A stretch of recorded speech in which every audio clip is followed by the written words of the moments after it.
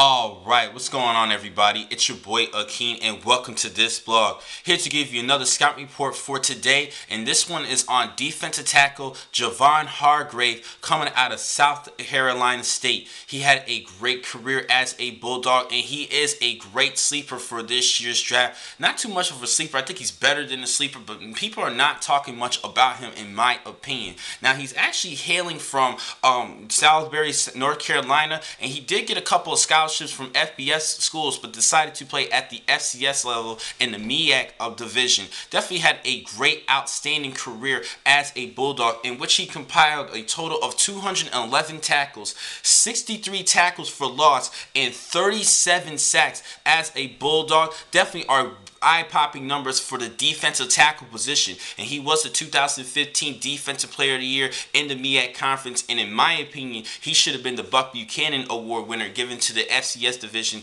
Defensive Player of the Year. But he was a finalist; he should have won it. I don't care what anybody says. Now, let's talk about his strengths and weaknesses entering this year's draft. I mentioned those eye-popping numbers, but he definitely had good numbers as well at the scouting combine. He ran a 4.9340, and he also bench pressed 225 pounds 29 times. That Those are better numbers than what some people believe And in my previous video in Vernon Butler coming out of Louisiana Tech. Now, I will talk about a couple of his weaknesses though, but let's continue on with his strengths. He definitely launches himself well out of stance and he definitely has initial quickness off the line of scrimmage, off the snap of the football, and he has he does a great job in breaking down on the uh, offensive line of scrimmage and even getting evading blockers. Now he definitely has a stout and he definitely does well in getting to the point of attack with strong hands to lockout and, and, control blocks just to evade things. Like I told you guys, 37 sacks and 63 tackles for loss. That shows that he knows what he's doing. He definitely moves well. He has a lot of uh, moves in his arsenal and he definitely has good size at 6 foot 1, 309 pounds.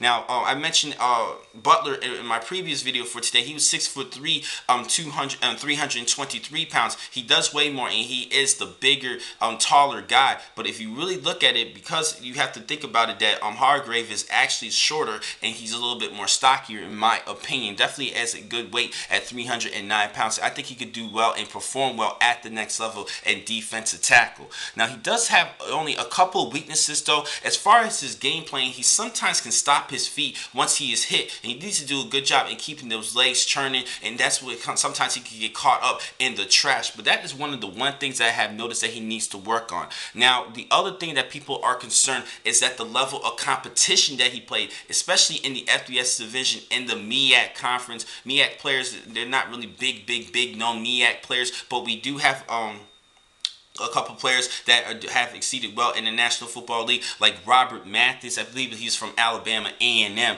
Now, this is that was another good player, but I think that um Hargrave could be the next star at that coming out of the MEAC conference. With those big numbers, I think that he is a solid second round selection. Now, I think that um people definitely will disagree with me. I've seen a lot of reports that have him in the third round, be mainly because of the level of the competition. But because of the level of competition, that's why I have him at the second round. He could be a first round star, but I don't think he would get that enough coverage because he played in the FCS division. So I see him as a good second round pick of this year's draft. But I know a lot of people probably disagree with me and have him going in the third or fourth round.